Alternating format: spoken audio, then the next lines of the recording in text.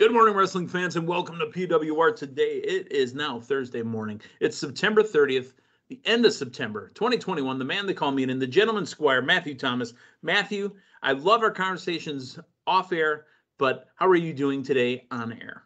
Oh, I'm doing wonderful on air and off air, just all around. Whether I'm on air, off air, in between air, mid air, you name it, man. I'm doing great. When you jump up, do you get some air? Uh, get a lot of air. Gotcha.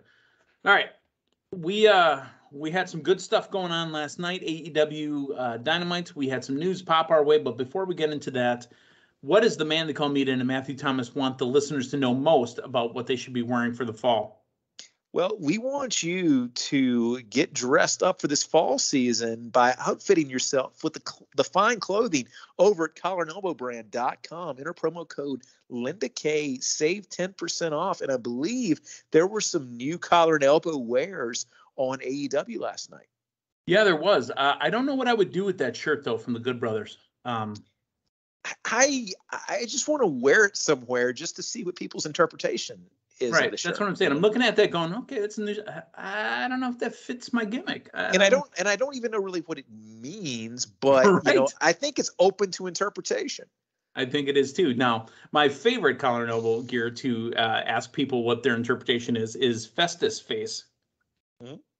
You know, now he's never wore that on TV to, to my uh, to my recollection. No, but I mean, I think it's uh, it's definitely that's that's definitely up there in my. I don't own it, but that's up there in my hierarchy of uh, favorite and elbow shirts. that is one that I wear that gets some serious looks. I'll tell you that right now. So Linda Kay L I N D A K A Y, ten percent off. The link is in the comments. Go ahead and head on over to collarandelbowbrand.com. Let's talk a little bit of news here, real quick. Uh, the news is not looking good for NXT, Matthew the ratings are in for Tuesday night show, and uh, they've dropped again. They only drew 655,000 live viewers, which is down from the 746,000 they had the previous week. Yeah. They don't have competition. They're not going up against Monday Night Football. Uh, it's not the baseball playoffs yet, so there's no excuses. They are getting their ass kicked, and nobody's watching. Yeah, no, I mean they they have they've rebranded, and I think that what has affected them too. I mean, some of the press that they did, I guess it was Nick Khan who made the comment about, you know, I mean, quintessentially they're done signing indie talent. Now, whether that uh, goes on to to be the case, I don't know, but there is a stark departure from what NXT has been. Uh, you know what their mo has been for years, and that's been very evident here in these last several weeks. They're they're going for a completely different feel. Do you know what? And this is in all seriousness, folks. This is not because you know we you know have a vested interest in it. Do you know what would get me to want to watch NXT right now? And I think would be a perfect fit. What's that? Do you know what 18 year old would probably fit into the NXT brand right now with the way it looks? What 18 year old? 18. Oh, no, I, I, I don't. I'm I'll give you a hint. Are you down with FPP? Uh, FPP. Future Oh, oh, oh, oh, oh, my good, you're right. Tell me that he would not fit with that NXT colored brand the way it is. That's right the color of his fanny pack. Tell me that Cal Hero would not fit into NXT. I think he would fit 100%. Now, let me again speak personally. I don't know if I want him in NXT right now. Yeah. Oh my Just, goodness. Uh, do I want him under the the the big national brand to learn from the best? Absolutely. Do I want him at you know the uh, you know the the PC training all the time? Absolutely. I want him learning from everybody. You know, getting some really good advice and getting some good training. However, I don't want him killed under that brand. Well, and let me ask you this too. I mean, are you really setting people up the best way you can by quintessentially using prime time on Tuesday nights on USA Network as your televised developmental. I mean, the thing with NXT, you could make the developmental case before, but you had a lot of seasoning going on there with the people who were on the roster. It was basically a 50-50 mix is what you did. And let me run down uh, to add to this and then respond back. Let me run down the names that were on Tuesday night show. Elektra Lopez, B Fab, Zion Quinn.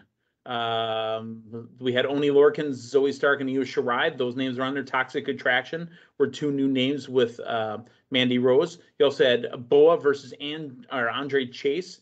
Here's a no name. Roderick Strong, Grayson Waller, new name. Kyle O'Reilly, you know, name that was there. Ridge Holland, name that was there. And Raquel Gonzalez, name that was there against Frankie Monet, current name. But out of all those names, only half of those names are people that we even know who they are. Yeah, yeah. And when I say that we know who they are, that's because we're invested in the wrestling business. The rest of them are all right. brand new names. Right. And let me ask you this.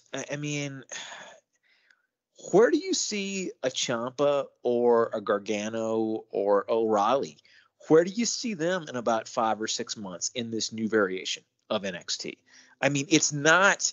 You really got the perception that somebody like a Ciampa who foreseeably had voiced they wanted to stay there as opposed to a main roster. It, it's no longer specifically Ciampa and Gargano. Yeah, it's no long longer that company that's necessarily trying to run parallel to an ROH or to you know what you had early on in AEW. It's it's not that wrestling WWE product anymore. It's your developmental televised WWE product. Right. They're broadcasting their training camp. Yeah. And that's what we're watching. We're watching training camp. We're watching preseason on a weekly basis. Now, you ask the question, where do I see a Ciampa or a Gargano in six months? I see them having a month ish run with a competitor and then disappearing for two months. Yeah. That's how I see them, one at a time, cycling them in and out. Uh, Ciampa currently is the NXT champion, so he might, you know, get a little bit more feature. But when he drops that belt to a Bron Breakker or somebody like that, I don't know where Ciampa fits in. And I mean, it's very reminiscent of I don't know what I want to say. It was like a like a Fox Sports South or something that carried it back in the mid 2000s. But when they were televising, I believe it was was FCW when that was serving as the developmental you weren't on USA. You existed on national television to a certain extent, but you were not running it parallel to your you look WWE like a territory products. show. Yeah, yeah. Like. And eh, I don't know. I mean, it was it was there and it existed if you wanted to seek it out, but you did not necessarily feel like you were giving you know these new young people this this much pressure and this high of a cliff in a lot of cases to run parallel to your uh, other WWE programming. It's just it's it's a strange feel, man. So it's it's odd uh, to be very clear. Um, but hey, maybe it'll turn out to be great, and that's what we want. We just want it to be great. Um, but right now, you know, uh, it's just not entertaining to me. It is not built for me. One other bit of news uh, before we walk into uh, AEW Dynamite from last night. CM Punk uh, had comments based on the New York State Athletic Commission not allowing dives. So, you know, uh, CM Punk has done some stage diving, you know, from the left or to the right, jumping into the fans. Apparently, uh, the New York State Athletic Commission does not allow stage dives. Um, and, you know, Punk uh, last night in Dynamite, we saw him kind of wave off people, and he was, ah, I can't, you know, they, they want me to, but your thoughts on the regulation of them doing the stage diving? Mm, not a huge surprise when you start talking about athletic commissions and this, that, and the other. My other thing, though, man, as much as I've enjoyed seeing it week after week, I would imagine that Punk is not volunteering his time in AEW. I'm a little bit surprised that AEW has not put a stop to the stage dives before now. I get, I love it. I love the excitement that it brings, but I get a little nervous every time I see it. You know, you're not wrong from a company professional business standpoint, but this is kind of that renegade show. This is kind of that rebel show yeah. that's almost run by the uh, uh, inmates. So maybe speaking, there's some talks. Speaking of which, uh, does the New York State Athletic Commission do they allow Glocks? Uh, I don't know, but we're going to get to the murderous Arn Anderson in a bit here. Good grief. Let's start off with the opening match. Um, AEW does a great thing here so far, and they're going to continue to milk this as they should. They play Punk's music, the crowd pops. Hey, Punk's going to go do commentary. All right, cool. Punk's here. He's doing commentary. Uh, I assume Punk's probably going to come out and talk on Rampage as well. opening match Adam Cole, baby. By the way, the number one song on iTunes in the heavy metal category. Can you believe that? I can believe it, and you almost like I, I, noticed this this sequence here several weeks ago. I think we got it on a Rampage or a Dynamite, but you start looking at your AEW uh, sequence. Start looking at that almost like a set list. You enter with Punk and Cult of Personality, then you have Cole, and then who does Cole wrestle? Cole wrestles the Jungle Boy. Oh, oh, exactly. Oh, oh, oh, so you are hitting you are hitting this crowd with three people that they're really interested in, and you, probably your three best, uh, three of your best songs in your WWE, in your, uh, I'm sorry, your AEW catalog. Right. The business is working, man, and I've said for many years, Pro Wrestling Report has been around since 1998. I joined Damien uh, and Carl Love in 1999, right? So I've been doing this 22 years. I have said since day one, the thing that draws me to wrestling the most has always been the music. Yeah. And that's why, literally, I, I could not, I could, there could be a part of me that does not like Adam Cole, but that song hits me right away. And right, let's, let's look at, and I know we referenced it a little bit uh, a couple of nights ago, but let's look at what AEW does on a production level in regards to these introductions. You have your li- your live crowd shot, you have Punk enter, you stay with the crowd. You have Cole enter, you stay with the crowd. You have Jungle Boy enter, you stay with the crowd. You are not going to recaps immediately. You are not having the audience watch a screen, your talent watch a screen. You are staying in the arena and building up that excitement. Building up the excitement, A, for the people there, B, for the people watching at home, hoping to get to the live show the next time they hit their town. Exactly. It's Wrestling 101, man. All right, Adam Cole and Jungle Boy. This was the wrestling match I thought it would be, and that is a good thing because these guys work. Now, of course, I also thought Adam Cole would win this match. This brought out the Super Elite, uh, B, Elite. As stupid as that song is, it's not bad. I actually, you know, I think it's doing exactly what it's supposed to do. It, it's chanty, right? You know, you can sing along to it, but it's a bad song. But it's for a heel, so it makes you feel like you should boo that. You understand what they're doing there? All right. So really what we get here is we get an interaction between Kenny Omega and Bryan Danielson. And uh, Bryan Danielson sets up a match. I believe it's going to be for Rampage. It's an eight man tag, or did I see a six man? Uh, I believe I Rampage. You've actually got a. I think coming up, you've got a one on one. I think it was announced a little oh, no, bit. You know what? It might be Dynamite next week. Uh, it's announced a little bit late in the program, but I think for Rampage you've actually got Nick Jack. It's either Nick or Matt Jackson. I think it's yep, Nick Jackson Bryan versus Bryan Danielson. Yep. But I think that eight man is coming up for Dynamite. It'll be Christian Cage, Frankie Kazarian, uh, Jungle Boy, and it might be it might I don't know. We're gonna have to dig into that. But like I said, uh, you know, get in the crowd that chant Kenny No Balls Omega. You've got no balls. Yeah, that's good stuff. Yeah, no, a couple things here. Uh, match with Cole and Jungle Boy, I, I thought was a very, very solid match. Um, I, the outcome was what I thought it was going to be, but they had me convinced that I might be wrong, and that goes a long, long ways. And I want to go back to to one of your false finishes there, where you actually had where you had that screenshot of Cole in disbelief, like laying right next to Audrey in disbelief. Uh, go back and watch that freeze frame, frame that. That was a really, really good shot there. Great opening match, uh, really good sequence. This is what AEW did very effectively last night. WWE, they tend to get people out there and keep them out there for like another tag match or something. This all made sense. You had the elite coming out there because Cole was out there, which in turn brought out Bryan. Look at the star power in your first 30 minutes of AEW. You've got CM Punk. You've got Adam Cole, Jungle Boy. You've got the elite out there bringing Daniel Bryan out. My goodness, this is a Bryan Danielson. Excuse me. This is a star-studded uh, cast of characters. Actually, I want to stop you there. Uh-huh. I sent an article to us, and I wanted us to review that. You mentioned the, the really the the top half of the AEW roster. There has been talk that it is very Caucasian Yeah.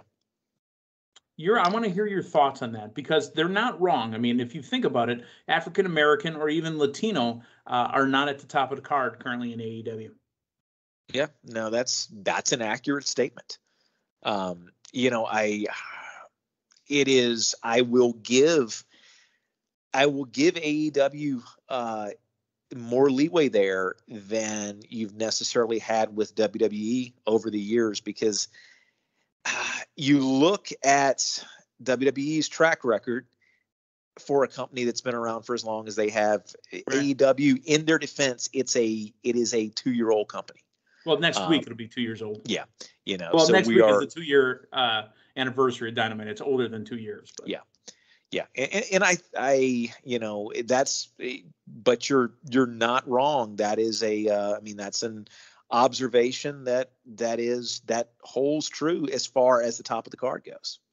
Yeah and you know wwe i think in uh, contrast as well currently have at the top of their card on raw. Oh, yeah. i mean look at it. You've got bobby and you've got big e going one-on-one with each other. And then roman reigns is um you know as they used to say way back in the day an island boy right so um, yeah, they got a little bit more diversity, but they've had 50 years to get diverse. Yeah, yeah. So no, and, and, and it's definitely and it's definitely it definitely has not always been WWF slash WWE's calling card, and that's a, a completely long, different discussion. Big E uh, is only the third African American champion, I believe. Yeah. I yeah, mean, I mean, Bobby Lashley can, was the second. You know, you can take one hand. You can take one hand and count. I mean, that's yeah. in in the how long of a history of a company. They need to they need to pick it up. All right, let's talk about the second match. Let's go back in there. Sorry, I kind of uh, sidetracked us there. Cody Rhodes and Lee Johnson um, with Arn Anderson and Brandi Rhodes outside against Dante Martin and Matt Sydal. I'm not sure what's happening to Dante Martin's partner or Matt Sydal's brother, his partner, but uh, top flights Dante Martin and the Sydal brothers, Matt, uh, taking on the team of Rhodes and Lee Johnson. We're going to get to it in a second. Uh, this was a awkward paced match, and when Cody Rhodes came to the microphone, the crowd instantly started booing him.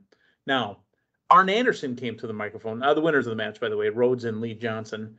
Arn Anderson came to the microphone and says, "If I get anybody come to my car, I'm pulling out my Glock and I'm gonna murder somebody." Has he been taking the Goldberg school of promos? They went to pro- same promo class. They went to the same. Or did uh, he learn it from Arn Anderson? I I don't know. I don't know. But Meathead, he, he's talking about like the, the murder thing is bad enough, but he's talking about a carjacking. Where's the carjacking thing coming from, man? Uh, this was awkward, and I don't know what the hell's going on. But it's not for my TV. I don't like it. I mean, the Goldberg thing is bad enough because it's a it's a broad threat of murder you know like but when you specifically tell someone how you are going to murder them and the the the fallout like the visual of what that looks like yeah this was uncomfortable. It was very uncomfortable. It's not as uncomfortable as say new jack promos. That used to really get just explicit but um, it's still uncomfortable to me and i don't like it. Um, aew for all the things that they do right they can do some things wrong and i don't like this whole path that they're going down right now. Well and you know here's the thing. I don't know did somebody steal cody's car recently? I'm not sure but speaking about cody and cars i have been near cody when we were both in cars. Me and cody actually met one night at a gas pump about like uh 2014 2013 i think it would have been. Yep we were both filling up our cars did he have arn anderson next to him with a glock? No but he had damien sandow Okay, well, let's see how that worked out for Damien. Mm-hmm. Let's talk trios match. It was Darby, Eddie Kingston, and Moxley, but Sting against Anthony Green and Bear Country, Bear Boulder, and Bear Bronson. Um, thank you for bringing in Bear Country. You know we haven't seen him in a while. It's nice to see him on TV. But this was a, min, a win, an instant win for Allin, Kingston, and Moxley. Yeah, I think this was just kind of there so Kingston and Moxley could walk to the crowd. Yeah, uh, so Kingston and Moxley, I mean, Kingston's, uh, or excuse me, Moxley's music is Wild Thing, but it's more so that he gets to interact with the crowd. Mm-hmm. That's why it was uh, here. Britt Baker, DMD, Ruby Soho cut promos about last week's main event where uh, Ruby did not win the women's championship. You know, she pointed out something that I've already pointed out, and it's funny that she said it because you know why people cheer for you? They like your song. That's it. They don't like you. They like the music. That's wild. That's very good from a. I mean, that's what the best heels do. they have truths in their statement, truth in their statements. Right. A heel is only a heel because they believe in what they're doing, even though right. it might not match with what the face is doing. So mm-hmm. that's the best bad guy is they have belief in what they're doing is right. Here's what's not right. I thought we had moved away from this, Matthew. You can remember us talking over and over about the multiple man tag matches. 16 man tag match. Dark I did, order. Not, I did not know what we were going into. Like, I didn't know what this was setting Holy. up until I hear 16 man tag match. All right, so let me call it out 16 man tag match. We had the Dark Order, who was 10, Alan Angels, Alex Reynolds, Colt Cabana, boom, boom, Evil Uno, and Stu Grayson, and Orange Cassidy with negative one, taking on the Harley, uh, the Hardy Family Office, and Helico, Jack Evans, Jora Johl, Isiah Kassidy, Marq Quen, Matt Hardy, The Blade, and The Butcher. And I assume Bunny was out there too. But 16 man tag. Dude, at the end of this match, and Punk even called it out on commentary. Apparently, there's no five count because they had at any given point six or seven people in the ring. Yeah. what the hell? I don't know if you I don't know if you enforce uh, tag ropes at this point either. But the uh, tag ropes aren't in the middle of the rope. You know what? To their to their credit, it's been a long time since we talked about this. They haven't been doing it near as much as they used to, and I think it was just here to get Dark Order on there so you could have that Brody moment. Of course. Well, they brought out Mrs. Dark Order to because uh, negative one wasn't having it, so he called his mom. Somebody call my mama, and uh, they put the Dark Order back together again, and uh, they just started going off on each other or off on the uh, other eight members of the tag match. Yep. Wow, sixteen man tag. For the love of God. Lio Rush uh, cut a promo. He uh, says Tony Khan wants him to be an all elite, but is he actually going to come and work? I thought Lio Rush retired. I thought so too, but my goodness, he cut a promo on your main show, so I'm assuming he's with the company. Yeah, I got to assume he is too. Uh, Dan Lambert in the ring with the Men of the Year, and they talk about how they just ran down Chris Jericho and uh, Jake Hager. So, uh, Men of the Year and top team, uh, looking like a good, solid heel faction. Now, the rest of the guys hanging around uh, Men of the Year, are just there for show. I don't see them ever actually working multiple matches, but you know, uh, Ethan Page and Scorpio Sky hopefully can get over with this. Well, here's what's so interesting too. You know, normally you think about somebody having a mouthpiece. It's not a great talker. You've got three great talkers in the ring. You know, you've got Lambert, Scorpio Sky, Ethan Page, who, by the way, I don't know if you caught it or not. Ethan Page claiming to have the tightest tits in the company. Well, I mean, that's how they used to roll in Impact. So yeah, yeah. No, I thought this this is a real this is a really good uh tandem and my goodness uh it's talking about people with uh with vocal skills uh you definitely got it there with this bunch yep Hikaru Shida cut her promo and said she's trying to be the first woman to get 50 wins, and guess who she's going to go up against next week on Dynamite? I'm so happy to a see her returning Serena, Serena Deeb. Yeah, yeah. Tell me more about Serena Deeb. I think she needs to win this. I mean, you know, you're trying to establish your your uh, women's division, and I get it's a 50 win milestone, but what that's telling me is you've also beat 50 other women, and when you're trying to get your women's division off the ground, taking that taking that momentum right there and being the person to stop this 50 win. You, you know, know, it's like not, the Brewers beating the Cardinals to end the 17 yeah. game winning streak. You know. Yeah, and you've got you know you've got your women's title but you don't you don't have tag team titles yet in AEW you don't have anything right now. You don't have a brass ring other than that women's title. Have Serena stop this 50 uh stop this 50th win. and make yeah. Shida work for the 50th I think. It, exactly. So have Serena get that and then maybe have her struggle a little bit in picking up that 50th win. Give her give her a story and get some people behind her you know Problem is though that they have AEW Dark, and she'll end up yeah. being on AEW Dark and end up catching a win on there. Right, right. But they wouldn't make the 50th win, I don't think, on AEW Dark. I don't believe so. No. Uh, Anna Jay and Tay Conti take on Penelope Ford and the Bunny. Again, Negative One comes out. You know, Negative One's got his own uh, theme music now. He does, and you can listen to that on Spotify or uh, whatever other major outlet you listen to your music on. It's amazing the way that works. Uh, MJF, what a great promo. And here comes Darby Allin. And are we going to start something with MJF and Darby Allin? I love the whole pillars thing. And he kind of blew past Darby Allin. It says, beat the other pillars. And I'm one of the pillars. But uh, Darby Allin comes out and goes, "You talk too much. You talk too much. You're not going to get my game." You're. They leave. Darby Allin, Yeah. MJF is what I want to see. And his uh, more, it, it, it, reminded me a lot of what he did with Brian Pillman Jr. going into the person's actual backstory, going into their actual family tragedy that they've had in their life. This was a page out of that playbook. Uh, kind yeah, of an I know odd... I'm not supposed to laugh when he said the wrong person died, but it makes me think of Dewey Cox, uh, Walk Hard. Walk wrong hard. kid died. So let me ask you this: What did you make of the Bruce Pritchard reference? I thought it was funny. And then Punk goes, "What? That's nothing. Everybody's got Bruce Pritchard on speed dial." Well, let me ask you this: Is this is that them basically, you know, trying to kind of legally do what they can for a WWE reference? Because you stop and think about it, Bruce Pritchard's Bruce Pritchard. You know, he didn't say brother love. This. What's huh? illegal about the mentioning? The reason the companies never mentioned each other because you don't want to put another company over. Right. There's nothing illegal about mentioning and them. and my understanding of it too you wouldn't necessarily go and mention a WWE owned trademark would you like you wouldn't mention necessarily um I'm trying to think of it the Undertaker or a trademark name but you've got a Bruce Pritchard who's the guy's real name so right you would mention a Mark Calaway Right, right, exactly. So, I mean, I think that's you know something that yeah, it, it seemed a little out of place because I mean, honestly, right now it's not. You you may garner a little bit of attention if say TNA did it at any point, but AEW with the hot streak they've been on, it, it, it's not nece- it's not needed at this point. Still, it was entertaining. All right, so here's what's announced for Friday's tomorrow night's uh, Rampage. There's a three-way match between Jade Cargill, Nyla Rose, and Thunder Rosa. This is going to elevate the women's division more. Hair versus hair. It's going to be Jack Evans and Orange Cassidy, and Bryan Danielson takes on Nick Jackson. The match I was talking about is next week's Dynamite eight man tag: Cage, Danielson, Jungle Boy, and Luchasaurus versus the Elite. They're doing the Casino Ladder match.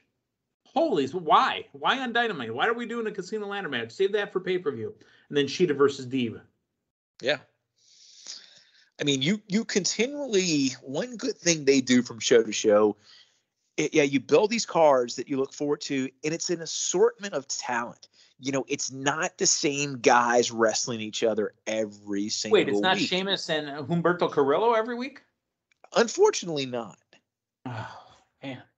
All right, TNT Championship, the main event: Miro and Sammy Guevara.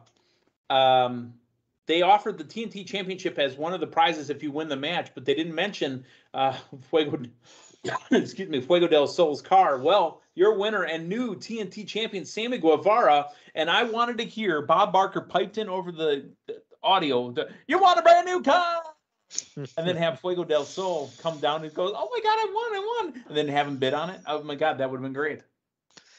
Honestly, this is one of the biggest uh, AEW booking surprises that I personally have seen. I thought Sammy definitely had the possibility to be a future TNT champion. Did not see it happening last night. Did not think they were going to pull the trigger. Just how strong Miro had been booked. Um, man, this this surprised me, and this was a big moment. And this is some big news coming out of last night's show. Bigger news coming out of post last night's show. So the gimmick that they did last night was they said, "Hey, if you want to hear the first words out of a new TNT champion, Sammy Guevara, stick around and watch the opening minutes of the brand new TV show, Rhodes to the Top, with Cody and uh, Brandi Rhodes, which we'll get into that in a second. But they said at the first commercial break, we'll have a new interview, live interview with Sammy Guevara, the new TNT champion. In that interview, which, folks, if you didn't watch it, big news. Sammy Guevara is talking about how it's great to win. He's got uh, Fuego del Sol there and then all of a sudden he says, and I'm getting all these people tweeting at me. The first person that tweets at me, Bobby Fish. Bobby, you don't even work here. Quote unquote from Sammy Guevara. But you know what? Forbidden door. If you want a shot, come on, kid. Come on to Dynamite next week. So announced for Dynamite next week. Bobby Fish, former NXT talent, will have a one-on-one championship match against Sammy Guevara. Matthew, go. Uh, wow, that was very very quick um, and that whole little deal where you break that into the show that comes on afterwards i think we, we've seen tnt do that a few times before about uh, 25 years or so ago Yeah, TNT. Remember what happened uh, the day after uh, Starcade with Sting won the belt over Hogan? They were going to have a rematch on Nitro that night. Huge match. I mean, they were killing Raw at that point, and then they couldn't show the finish of it because we're out of time. If you want to see the finish of this, join us on the brand new show Thunder this Thursday. Good night, everybody.